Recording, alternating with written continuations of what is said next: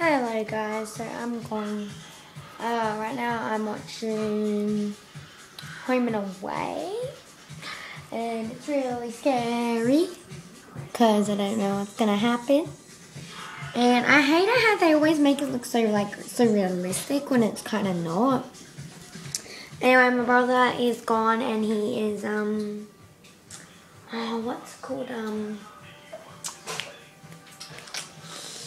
he is um, cleaning up his room because he's got a new bed that's coming in there, so he has to clean it up and then he's going to put the bed together.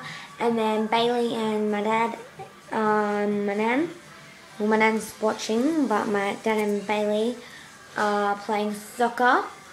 And Kaya is in her bedroom on her phone. And mum, she's sorting out toys. Oh, and I'm watching home, oh, and watching Home and Away. And my dad was watching Home and Away with me. And my mum was watching Home and Away with me. So, and then we're going to watch the X Factor. In stereo. No. He's on the way back now, which is a huge deal. So I'll see y'all later. Bye.